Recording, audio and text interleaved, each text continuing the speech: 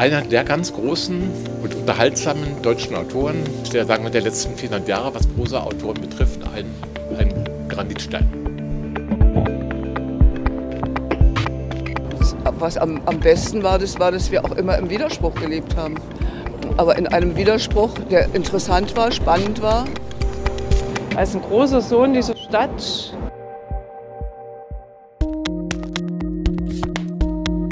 Wir haben hier anlässlich des 100. Geburtstags die zweite internationale Konferenz. Wir verleihen heute zum dritten Mal den internationalen Stefan Hein